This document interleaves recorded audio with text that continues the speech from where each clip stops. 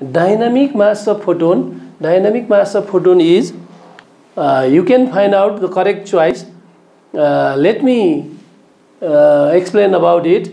मैले तपाईँलाई अगाडि नै एउटा सेन्टेन्स के भने भने mass of photon at rest is zero भने यसलाई कतिले कन्फ्युज हुनुहुन्छ? Mass of photon at rest is zero भनेर पढाएँ मैले। अनि कतिले बी इन्ट्रान्समा चोइसमा फोटोनको मास जिरो लगाइरहेको पाइन्छ?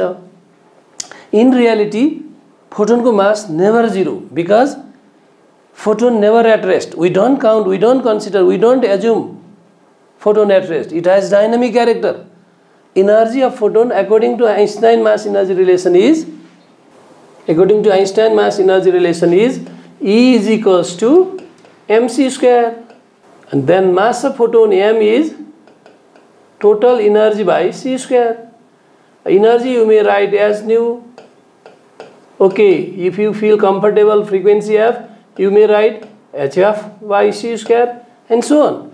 Therefore photon has dynamic character never at rest.